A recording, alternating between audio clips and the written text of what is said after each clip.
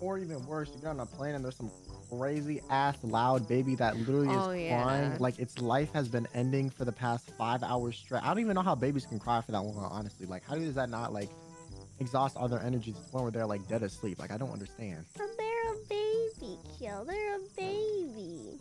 Just because they're a baby doesn't mean it's any less annoying to my eardrums. I understand. Kill, do you like babies?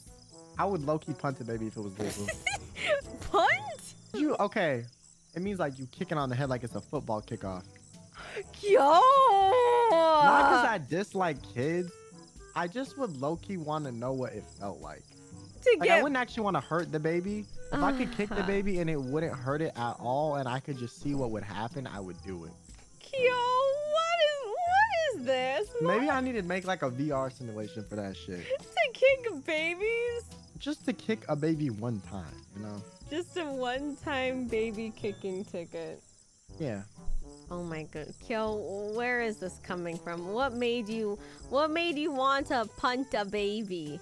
Have you never wanted to punt something before?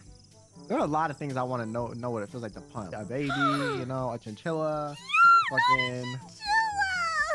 Oh my god, I would love to know what it feels like to punt uh, one of those fucking massive ass workout balls. Oh my god. Um, Well, yeah, tho- that seems fun though.